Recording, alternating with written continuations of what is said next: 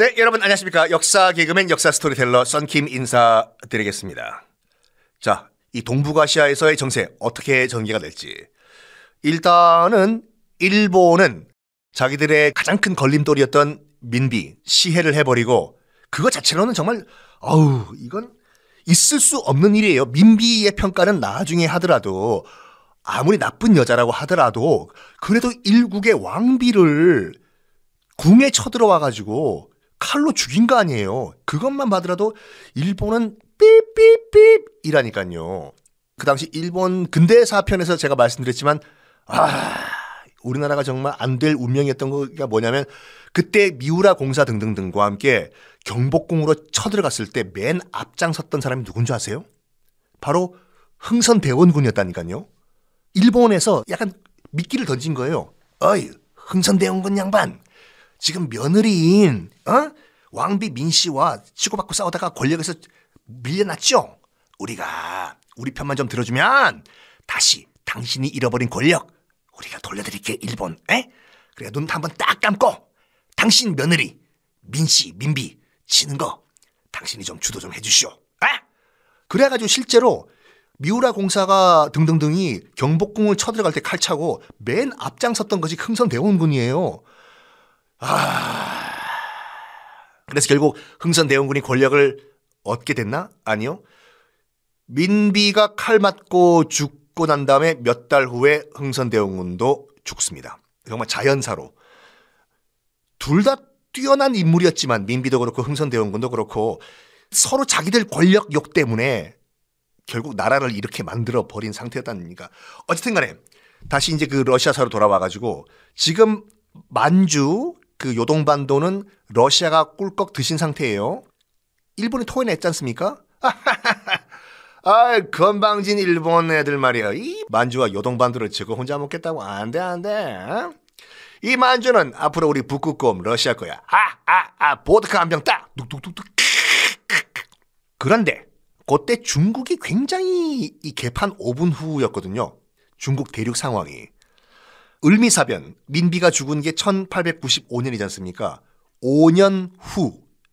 5년 후는 몇 년도예요? 어, 1900년도 1900년이죠. 그때 중국에서 무슨 일이 일어났냐면 의화단 운동이라고 어우 처음 듣는다. 썬킴의 세계사 완전 정복에서 아니요. 중국 근대사 할 때 다 말씀드린 얘기거든요. 1900년도에 의화단의 난, 난이 일어나요. 뭐냐면 중국의 모든 문제는 다 외세 때문에 일어난 것이다. 러시아, 프랑스, 미국 등등등등등 독일 등. 그래가지고 이 외세를 몰아내자! 라는 극단적인 민족 운동이 의화단 운동이었거든요. 중국 내에서. 웃기는 운동이었어요, 솔직히. 뭐였냐면 전기 쓰지 마라. 전기는 서구 오랑캐들이 갖고 온 거다. 기차 타지 마. 기차도 서구 오랑캐들이 갖고 온 거야. 또 뭐가 있나? 어, 서구 오랑캐들은 말이야 예수라는 신을 믿던데 하늘 날아다닌다고 하더라고 승천한다고. 그래? 우리 중국도 하늘을 나르는 신이 있어. 그러면서 손오공을 믿어요. 손오공은 구름 타고 날아다니니까. 너희들 서구 오랑캐들은 뭐 예수? 우리는 손오공이 있어. 우린 구름 타고 날아. 그리고 정말 의화단이라는 그 단체가 어이가 없는 게 뭐냐면 일단은 노랑머리 흰 얼굴 약간 백인처럼 보이는 사람들은 다 죽여요. 싹 다. 이거 팩트니까 말씀드리면은 이 선교사들과 함께 따라온 뭐 여인들, 백인 여인들, 어, 의화단들이 몰려온다고 하면은 스스로 목숨을 끊고 극단적인 선택을 했다고 해요. 왜냐하면 살아있으면 정말 못 볼 걸 당하니까 스스로 목숨을 끊고. 이 의화단 운동, 이런 얘기까지 했다니까요. 서구 오랑캐들이 쏘는 총, 저거 우리가 쿵후로 단련을 하면 맞아도 안 죽는다고. 실제로 그 차력 훈련을 해요. 그래서 탕! 총 맞고 죽죠, 누가. 의화단 단원이. 제가 아직 수련이 덜 돼서 죽은 거라고. 이거 실제로 그런 얘기를 한다니까요. 의화단 애들이. 의화단 운동을 벌린 이 애들이 또 뭘 하냐면 러시아가 점령하고 있는 만주 요동반도에 있는 러시아가 건설하고 있던 철도를 또 습격해서 박살을 내버리네. 러시아 입장에서 봤을 땐, 야, 저거 봐라. 손오공을 믿는 애들이 와가지고 우리가 한참 건설하고 있는 시베리아 만주 철도를 박살내네? 어유 저거 어떡하나? 어떡하긴 어떻게 우리 철도를 보호한다는 명분 하에 군대를 파견을 합니다. 그리고 자기들 철도를 보호한다는 명분 하에 만주와 요동반도 전체를 러시아가 먹어버려요. 일본이 토해냈던 요동반도를 그 전까지만 하더라도 대련 여순 도시 몇 개만 꿀꺽 삼킨 상태였는데 이 의화단 손오공 믿는 애들이 총 맞고 안 죽는다는 애들이 밀려오니까 자기들 국민들과 철도를 보호한다는 명분하에 아예 그냥 만주와 요동반도를 다 후룩짝짝 드셔버립니다. 이걸 가만히 누가 보고 있었냐면 영국과 미국이 보고 있었어요. 저거 저거 저거 러시아 애들 그 광활한 만주 땅과 요동반도를 러시아 북극곰 애들이 저 혼자 먹는다고? 이거 이거 안 되겠는데 러시아 쟤네들 좀 어떻게 좀 말려봐 하면서 영국이 제동을 먼저 걸어요.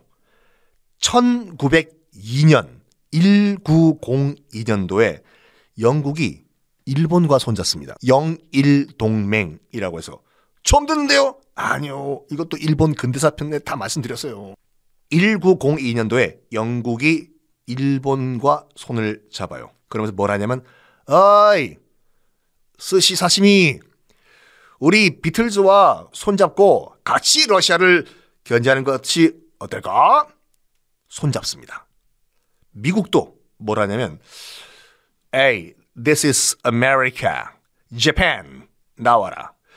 우리가 미국이 어, 재팬에게 군수 물자와 자금을 지원할 테니까 러시아를 한번 막아주는 거 오케이? Are you satisfied? 실제로 미국이 그 당시에 일본에 엄청난 군수 물자와 자금을 지원을 해줘요. 남하하는 러시아 막으라고 일본이. 이때 이제 일본이 고민에 빠져요. 무슨 고민이냐면 영국과 미국으로부터 우리가 엄청난 군수 지원과 자금 지원을 받았는데 확 그냥 러시아 지금 전쟁 한번 해봐? 근데 확신이 없어요. 왜냐면 러시아는 그래도 유럽 대제국이거든. 땅덩어리 넓일 봐요. 아, 어떡하지? 고민된다 됐어. 어떡하지? 어떡하지? 하다가 일본이 어떤 결정을 내냐면 그래도 지금 하자. 지금 러시아가 만주와 요동반도에 계속 시베리아 철도를 건설하고 있던 상황이었거든요. 러시아가 시베리아 철도를 다 완성하면 그땐 너무 늦는다. 리스크가 있지만 리스크가 있지만 지금 시베리아 철도 완공되기 전에 러시아를 그냥 때리자라고 결정을 해요. 근데 러시아도요 다 알고 있었어요. 일본이 전쟁 준비한다는 거 그 스파이가 없었겠어요. 그 일본 도쿄에 다 들어요. 지금 일본이 뭐 영국, 미국으로부터 군수 자금 등등등 받아가지고 전쟁 준비하고 있다는 것 다 스파이를 통해서 들었거든요. 러시아에서도. 니콜라이 2세가 얼굴 잘생긴 황제죠. 마지막 황제. 니콜라이 2세가 그 첩보를 들어요. 폐하, 일본이 지금 전쟁 준비하고 있다. 스키. 니콜라이 2세가 딱 듣고 그걸 역이용하려고 합니다. 뭐냐면 일단 일본을 만만하게 봐요. 러시아가. 저기 극동에 있는 뭐 아시아 국가 근대화가 된 지 뭐한뭐몇 년? 30년? 그 전까지만 하더라도 뭐 농사 짓고 있었다며 뭐 쇼군, 장군이 뭐 사무라이가 칼 차고 다니면서 일본을 만만하게 봤어요 러시아가. 그리고 또 니콜라 2세가 뭘 했냐면 이번 기회에 어 나의 권위, 황제의 권위에 도전하는 뭐 누구라고? 뭐 사회주의, 공산주의? 아이고 요런 혁명 분자들을 다 군에 징집을 해가지고 다 전쟁터에 보내버려. 라고 생각을 해요. 좋은 구실이지 않습니까? 전쟁 터졌는데 사회주의고 뭐시기고 전쟁 터졌거든? 너희들 다 군대 가. 라고 생각을 해요. 그리고 100% 전쟁에서 이긴다고 봤어요. 러시아는. 일본인데 섬나라 아시아 섬나라인데 러일 전쟁 드디어 발발합니다. 음, 1904년도에 발발하죠. 일본 아시다시피 선전포고도 없이 그냥 바로 선전포고 없이 선빵 됐어요. 바로 전쟁을 벌입니다. 1904년 2월 8일. 크, 추울 때죠. 리순항, 여순항이죠. 나중에 여러분 저와 함께 가실 거예요.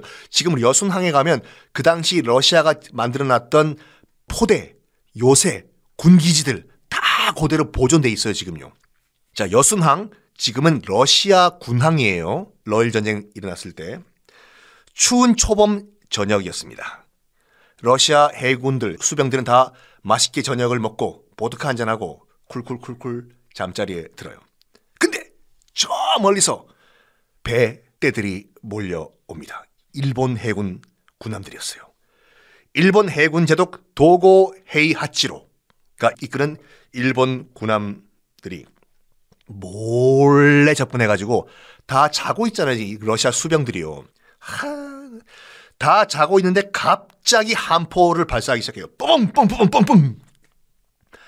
러시아 해군들은 자고 있다가 혼비백산이지 않습니까? 이게 뭔 소리냐고. 우왕좌왕하면서 이제 배를 몰고 나가기 시작하는데 웬걸 일본 해군은 류순항 앞바다에 기뢰를 다 설치해 놓은 상태였어요. 기뢰죠. 그래가지고 이 기뢰 건드리니까 다 터지는 거예요. 러시아 배들이 뻥뻥뻥뻥뻥. 결과적 러일 전쟁에 관련된 그 스토리는 그 썬킴의 세계사 완전 정복 일본 근대화 편에서 들으시면 자세하게 설명이 되고 있습니다. 일본군과 러시아군 치열하게 싸웁니다. 요동반도에서도 싸우고 또 사할린 등등에서 격전을 벌입니다. 밀려요. 러시아군이요. 밀려요. 왜냐하면 주력 부대가 주력 부대가 저기 페테르부르크 동유럽에 있지 않습니까? 걔네들을 이 극동 지방까지 오게 만드는데 지구 거의 3분의 1을 횡단해야 되지 않습니까?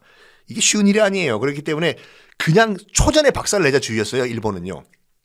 밀려요. 러시아 육군이. 러시아는 마지막 승부수를 꺼내요. 다시 한번 말씀드리지만 무적의 당시 무적의 발트 함대를 일본 앞바다에 보내기로 하는데 발트 함대는 발트해는 스칸다나비아 반도, 스웨덴, 핀란드 거기잖아요. 거기에 있는 배들을 지금 대마도 부산 앞바다로 보내려면 음, 난감하죠. 뭐 결론적으로 말씀드리면 아프리카 희망봉 돌아가지고 인도양 지나 인도네시아 찍고 싱가폴 대만 찍고 거의 1년 만에 도착을 해요. 발트 함대가 아무리 지구 최강의 무적의 발트 함대라고 하더라도 1년 동안 왔는데 제대로 싸우겠습니까? 대마도 앞바다, 울릉도 앞바다에서 일본 해군에게 전멸을 당합니다. 아. 그리고 페테르부르크에서 육군 병력을 수송을 해야 되는데 이것도 문제가 된 게 뭐냐면 군대가 제대로 이동을 못 해요. 왜냐하면 시베리아 등등등등등에 있는 사회주의 혁명 세력들이 방해를 해. 자기는 전쟁하기 싫다 이거거든요. 아니 군인들이 기차 타고 가야 되는데 중간에서 스톱! 가지 마! 막아버리고 또 막고 또 막고 또 막고 이 사회주의 혁명 세력들이 못 가요. 제 시간에 도착을 못 해요. 결국 결국 러시아는 어이가 없게 일본에 의해 가지고 전쟁 패배를 당해요. 엄청 창피했다고 하죠. 러시아 입장에서 봤을 때는 우리가 뭐 독일, 프랑스한테 진 게 아니라 누구? 일본? 우리가 일본에서 진 게 정말 레알이야? 오이구야. 자 그때 중재를 한다고 해서 이제 미국이 등장해요. 아이, 러시아, 헤이, 재팬 싸우지 말고 대충 보니까 일본이 이긴 것 같은데 더 이상 싸우지 마. 일본이 이겼다고 하고 여기서 그냥 손잡고 화해해. 어? 러시아 대표, 일본 대표, 우리 아메리카, 미국으로 건너와. 우리가 너희들 손잡게 해줄게. 해서 1905년 8월에 그 당시 이제 시어도 루즈벨트 대통령이거든요. 루즈벨트 대통령은 두 명이에요, 미국에서요. 다리가 좀 불편하신 프랭클린 루즈벨트는 2차 대전 때 어, 대통령이고 요 때는 시어도어 루즈벨트 대통령이라고 뚱뚱한 카우보이 대통령이었거든요. 그 루즈벨트 대통령이 어이 두 양측 러시아 일본 다 와. 우리 포츠머스는 아름답거든. 여기서 경치도 좀 구경하고 어? 미국 햄버거도 좀 먹고 어? 손잡아. 그래서 미국 포츠머스에서 러시아와 일본이 사인을 해요. 그래 이쯤에서 대충 전쟁 마무리하자. 일본 그래 너가 이겼다. 이것이 우리가 세계사 시간에서 배웠던 포츠머스 회담인데요. 포츠머스 회담에 어떤 내용이 포함되냐? 일단 러시아는 대한제국에서 이제 조선이 아니라 고종이 대한제국을 선포한 상태였거든요. 러시아는 대한제국에서 완전 손 뗀다. 도장 찍어요. 그리고 사할린 남부. 사할린은 전체가 다 러시아 섬이었는데 사할린 남부를 일본에게 넘겨준다. 도장 찍어요.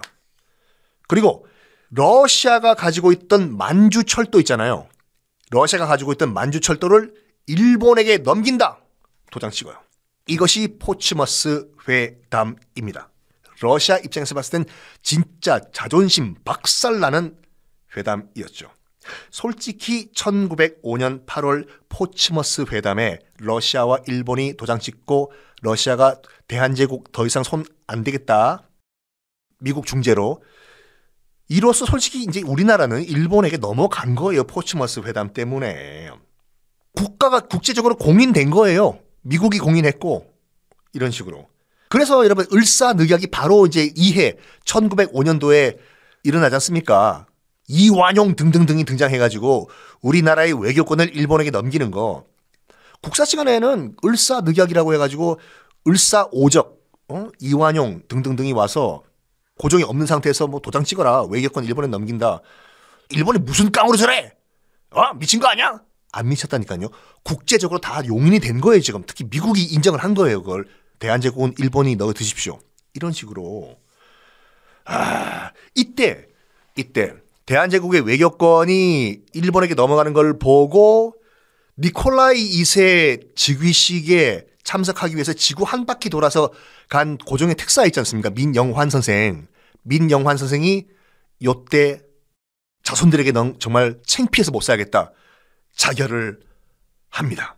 그리고 미국은 러일 전쟁을 중재해줬다라는 공로로 공로로 시어도 루즈벨트 대통령은 노벨 평화상을 받습니다. 자, 러일 전쟁이 한참 마무리가 되고 있던 그 시점, 러시아는 나라 안팎으로 완전 난리가 났어요. 국내적으로는 사회주의 혁명 세력이 뒤집으려고 하고 있죠, 나라를. 국가 경제는 붕괴되기 일보 직전이고 노동자들은 뭐냐면 월급이 안 나와서 굶어 죽어요.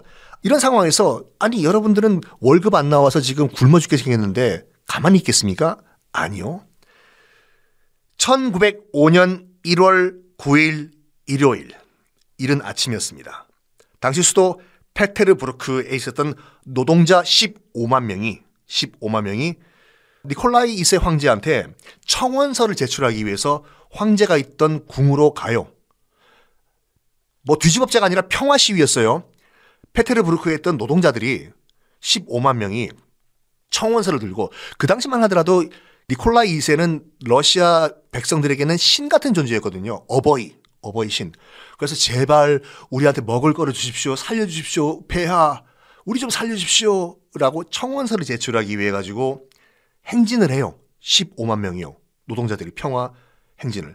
특히 황제의 성상, 그러니까 황제의 미니어처 상을 만들어 가지고 카톨릭에서 성모 마리아 들고 이렇게 행진하는 것처럼 황제의 성상을 들고 황제의 초상화를 들고 조용히 조용히 평화스럽게 궁으로 향해서 행진을 해요. 눈이 오는 그런 일요일 아침이었어요. 우리를 구하소서, 우리를 불쌍하게 보소서, 황제시여, 폐하시여. 그 당시에 이제 페테르부르크에 있던 니콜라이 2세의 궁 이름이 겨울궁전이었거든요. 그 겨울궁전 앞으로 평화 행진을 합니다. 우리를 살려줘서. 정말 가슴 아픈 얘기가 그때 백성들이 들고 있었던 청원서. 청원서 내용이 이래요. 그 당시 백성들이 썼던 그대로 말씀드릴게요. 꿈인 거 아니에요. 그대로 제가 말씀드릴게요. 폐하, 저희 처자식과 늙은 부모들은 보호를 구하려 당신에게 달려갑니다. 저희는 가난한 찌달림에 정말 비참하게 살고 있습니다.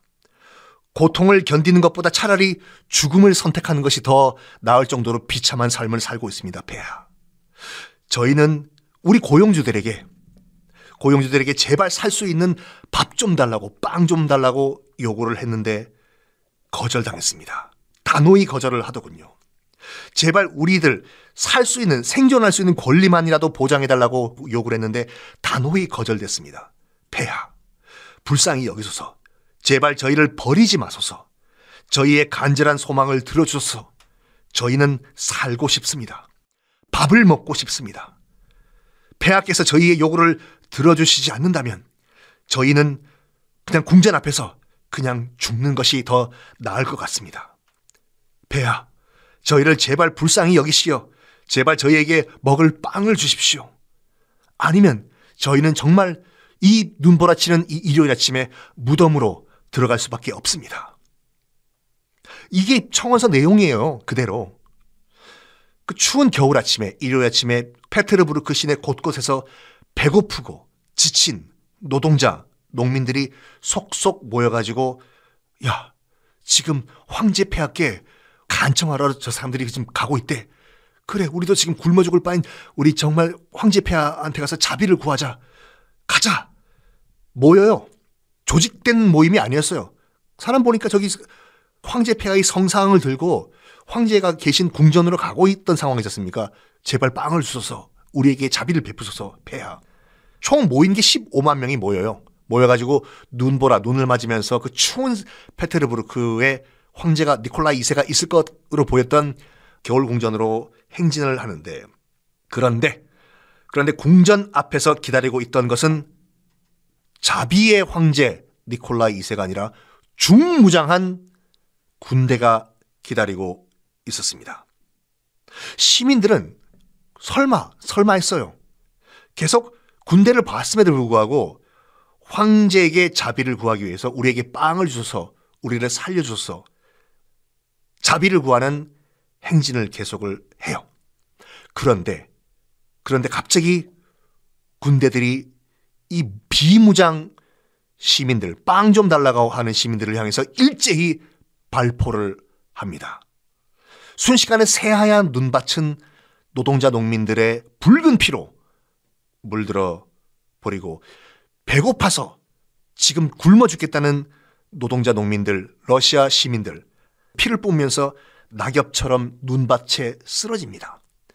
그것도 모자라 가지고 이 니콜라이 2세의 황제의 기마 부대가 대검을 뽑고 달려와 가지고 시민들을 말 타고 달려와 가지고 시민들을 칼로 다 베어 버려요.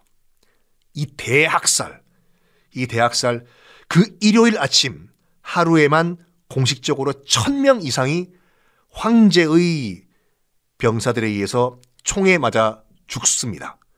3천 명 이상이 총칼에 맞아서 부상을 당하고 이것이 바로 러시아 역사상 가장 중요한 날, 역사의 변곡점으로 기록되어 있는 피해 일요일, 그날 아침이었습니다. 피해 일요일을 겪고 난 다음에 러시아의 노동자 농민들은 깨달아요. 자비의 황제, 자비의 짜르는 없다. 우리가 속았다. 우리는 신으로 생각했는데 짜르, 니콜라이 2세가 결국에는 우리에게 총칼을 들이대고 빵을 달라고 하는데 빵 달라고 하는 우리 부모, 형제를 죽인 원수였을 뿐이다. 라고 생각을 고쳐버립니다. 그래서 어떤 결심을 하냐면 평범했던 노동자 농민들을 이 황제의 나라 러시아를 뒤집어 엎자라는 범국민적인 생각을 하게 됩니다. 그리고 잠깐 잠깐씩 들었던 사회주의자, 공산주의자들이 말을 했던 노동자, 농민들이 세상의 중심이 되는 그런 세상을 만들자라고 결심을 해요. 이 피해 일요일 아침 이후에 드디어 시작이 됩니다. 러시아 혁명이 피해 일요일 이후에 본격적으로 시작이 됩니다. 이 모든 내용들 정말 물론 제가 말씀드린 것도 뭐 생동감 있게 최대한 말씀드리지만 전체 내용을 포괄적으로 보고 싶다라고 하시는 분들은 말씀을 드리는데 닥터 지바고라는 영화를 꼭 한번 보시기 바랍니다. 그러면 니콜라이 2세 황제의 로마노 왕조가 어떻게 무너지는지 어떻게 러시아 혁명이 또 발생을 하는지 다 보실 수가 있습니다. 1905년 1월 9일 피해 일요일 1000명 이상의 러시아 시민들이 황제의 군대가 발포한 총에 의해서 피를 뿜고 쓰러진 그날 이후에 러시아 혁명이 본격적으로 시작이 됐는데 그 소식이 러시아 전국에 다 퍼집니다. 당연히 노동자들 총파업에 들어가죠. 어, 여기서 여러분들 꼭 보셔야 할 영화 하나 소개를 해드리는데 에이겐슈타인 감독이 감독을 한 러시아 영화 이 전함 포 템킨이라는 영화가 있어요. 이게요. 어, 영화 전공하시는 분들은 꼭 한 번씩 보는 영화인데 1925년에 이 러시아에서 개봉을 한 영화예요. 이게 어떤 영화냐면 1905년 지금까지 말씀드렸던 그 1905년 러시아 혁명 그걸 기념해서 20주년 기념으로 만든 영화거든요. 그러니까 1905년 20주년 기념이니까 1925년 맞죠. 어, 이게 어떤 상황이냐면 실제로 포템킨이라는 당시 러시아 최강의 전함이 있었습니다. 어디 있었던 전함이냐면 흑해. 맨날 나오는 흑해죠. 거기 내륙에 있는 바다요. 그 흑해 함대, 러시아 흑해 함대의 최강의 전함 포템킨호가 있었는데 1905년 6월 27일 그러니까 피해 일요일이 발생한 다음에 한 5개월 후죠. 이 포템킨 호에서 반란이 일어납니다. 왜냐하면 이 포템킨 호에서 있었던 이 수병들 해군들도 그 소리를 들었겠지요. 짤의 군대가 무고한 백성들을 쏴 죽였다. 어떻게 그럴 수가 있냐? 우리 황제 군대가 부글부글부글 끓고 있던 상황에서 급식이 나왔는데 밥 먹으라고 구더기가 나오는 거예요. 아니 요것만 봐더라도 보더라도 그 당시 이제 러시아 군 상황이 얼마나 열악했는가를 알 수가 있는 것이 최강의 전함, 러시아 최강의 전함에서 근무하는 해군들한테 나가는 급식 안에서 구더기가 나왔다? 그 말은 나머지 러시아 병사들이 먹고 있었던 밥은 뭐 안 봐도 비디오다 이건데 하여간 밥을 먹고 있는데 구더기가 나왔어요. 저기요, 관계자 여러분, 밥에서 구더기가 나오는데 이거 어떡합니까? 그냥 건져내고 먹어요, 임마. 이렇게 된 거예요. 뭐? 내가 지금 목숨 걸고 지금 나라를 위해 싸우고 있는데 뭐 구더기를 건져내서 그냥 씻어서 먹어? 어? 이게 이제 스타팅 포인트가 돼가지고 장교와 사병들이 갈등을 벌이다가 장교를 죽이고 전함을 차지하는 그런 반란이 실제로 있었거든요. 그게 전함 포템킨호의 반란인데 그거를 영화화한 거예요. 1925년도에 전함을 차지했어요. 어디로 가냐면 당시 전국적으로 러시아 전국적으로 이제 총파업이 일어나고 있던 상황이었는데 흑해 또 나오죠. 거기에서 가장 컸던 러시아 도시가 오데사라는 도시예요. 지금도 있어요, 여러분. 잠깐 여러분 퍼스 하신 다음에 아, 이런 거 나오면 한번 지도 한번 보고 한번 넘어가 보세요. 흑해 보시고 계시죠? 거기 보면은 우리가 딱 봤을 때 흑해 기준으로 왼쪽으로 보면 오데사라는 도시가 있어요. 지금도 지금은 우크라이나 소속 도시거든요. 그 도시가 당시 러시아 흑해에서 가장 큰 도시였는데 거기에서도 총파업이 벌어지고 있었던 거죠. 그래서 포템킨호 수병들이 저 가자. 우리 어차피 엎어진 무리야 지금 오데사 지금 거기서 총파업이 일어나고 있다고 하니까 가서 우리가 시민들과 합류해서 혁명에 동참하자. 좋나? 좋다.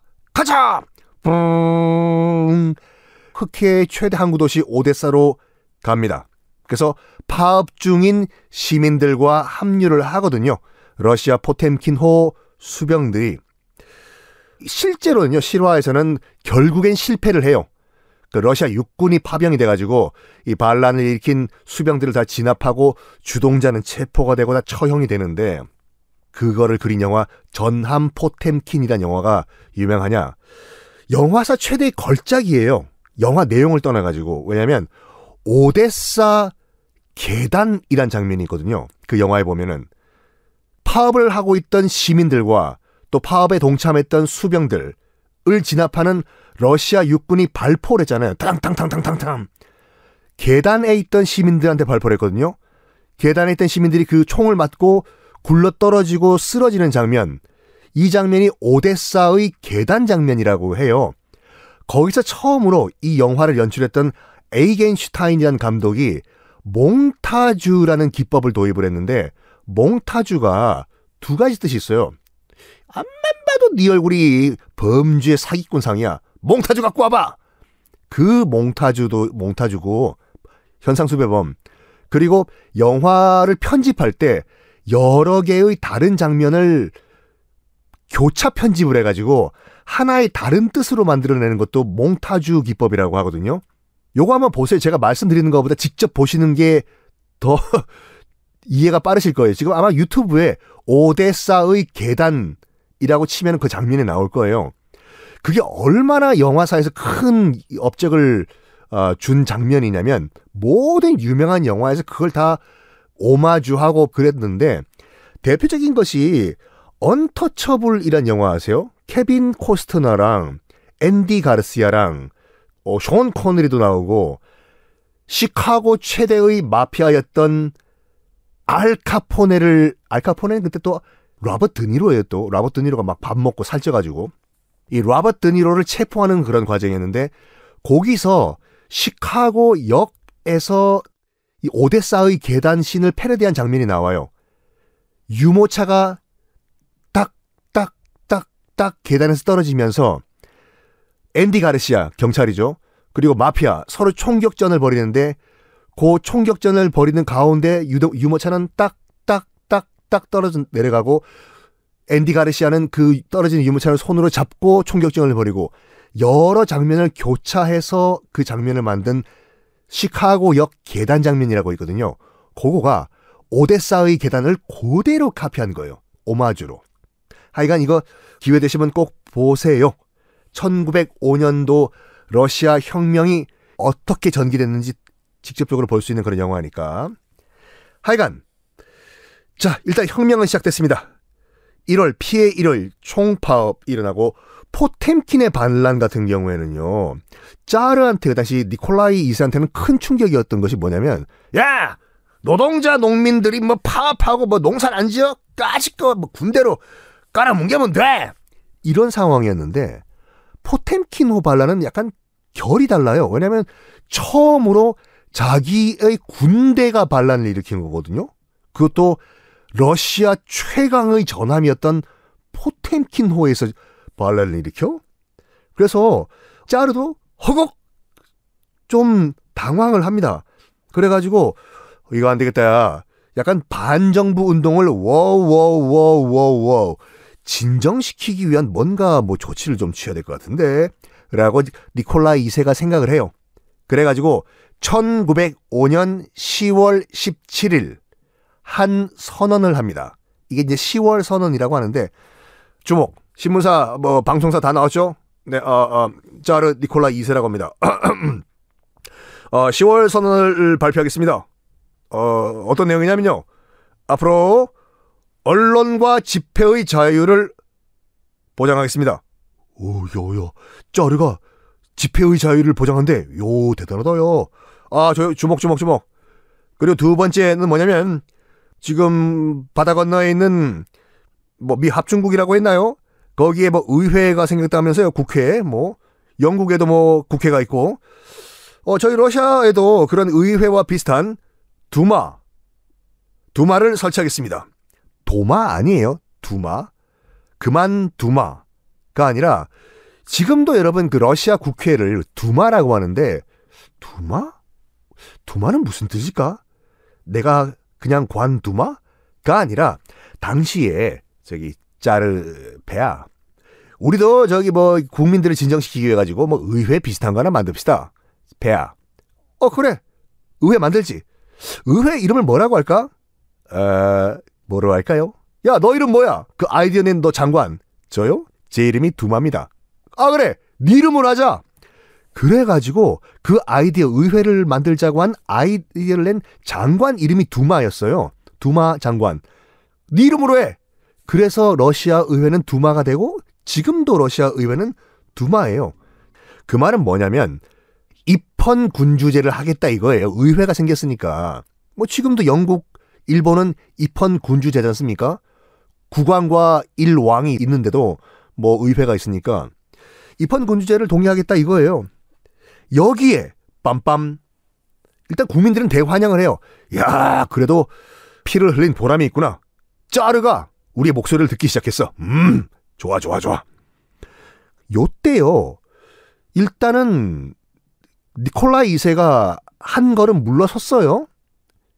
국민들은 우리가 한 걸음 앞으로 나갔다 이겼다라고 생각을 했는데 여기서 국민들이 두 파로 갈려요. 첫 번째가 뭐냐면 일부 자본가들과 온건파들은 아유 이 정도면 됐다고 야 짜르도 체면이 있는데 저 정도 물러졌으면 우리도 그냥 좋은 게 좋은 거야 넘어갑시다 이 정도면 어? 어? 의회 만들어준대잖아 그래서 일부 자본가들과 뭐 장사하시는 분들, 뭐 사업하시는 분들, 그다음에 온건파들은 이 정도 하고 대충 넘어가자라고 만족을 해요. 근데 대다수의 노동자 농민들은 뭔 소리야? 지금 여기서 멈추면 안 돼. 어? 여기서 멈추면 다시 똥 원상 복귀가 된단 말이야. 이왕 탄력 붙은 김에 쭉쭉 나가야 된단 말이야. 이런 두 파로 나눠져요. 온건파와 강경파. 아유, 이 정도면 됐지. 그냥 여기서 그냥, 그냥 넘어가자고. 온건파. 아니야! 이건 시작에 불과해.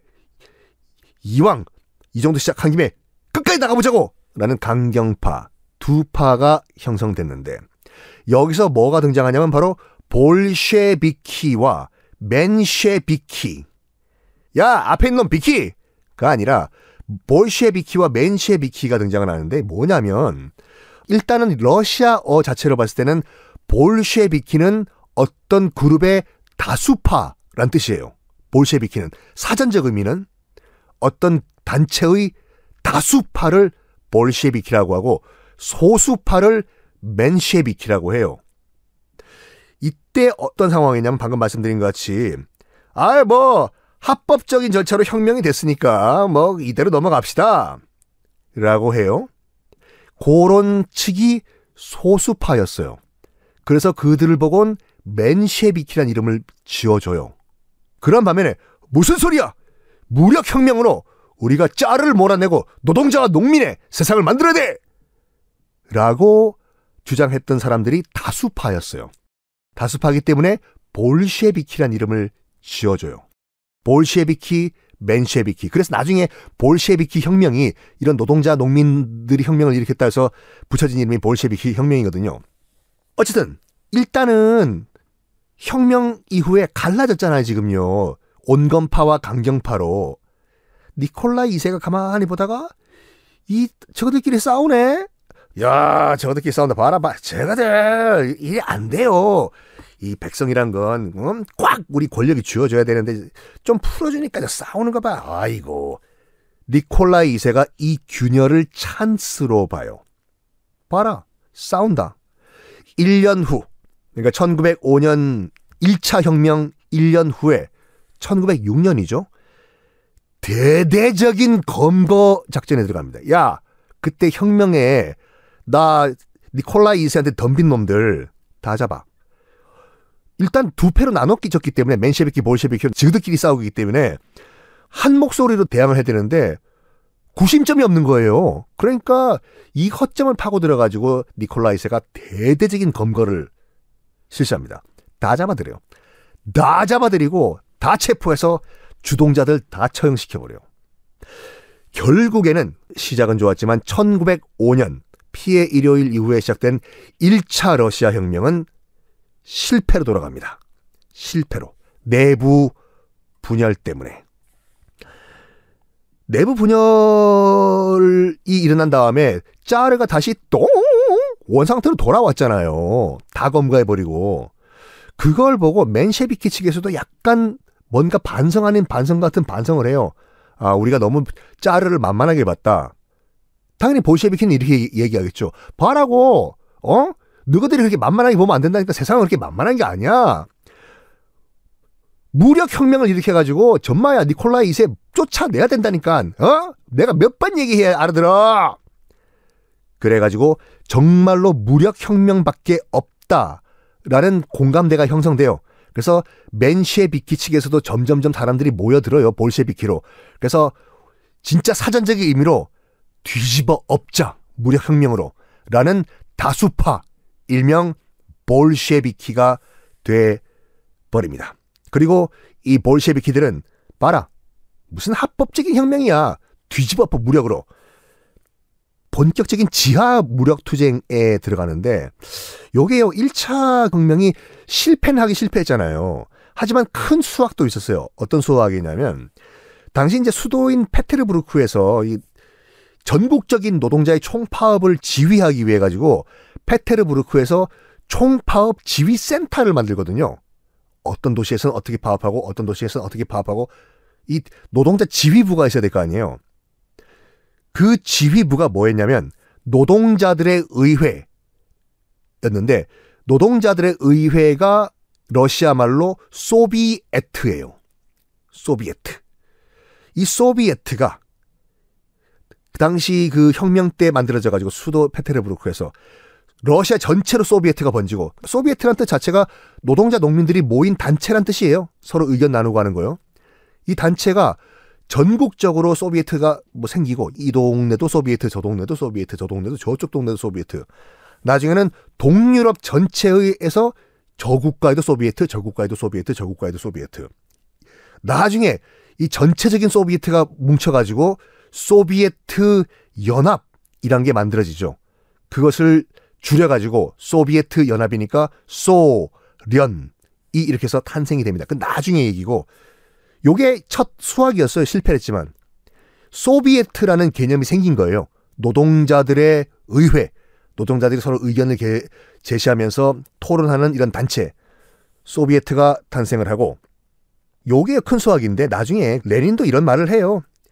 1905년도에 실패를 했지만 러시아 혁명의 이 리허설이 없었다고 하면은 나중에 사회주의 진짜 혁명도 없었을 것이다. 라고 레닌도 얘기할 정도로 실패를 했지만 큰 업적, 그래도 파운데이션은 남겼다. 자, 이렇게 일단은 표면적으로는 니콜라이 2세의 승리로 끝났어요. 노동자들이 지하 운동을 펼치면서 기회를 보고 있지만 이때 엄청난 일이 하나 터집니다. 그 일은 뭘까요? 다음 시간에 공개하겠습니다.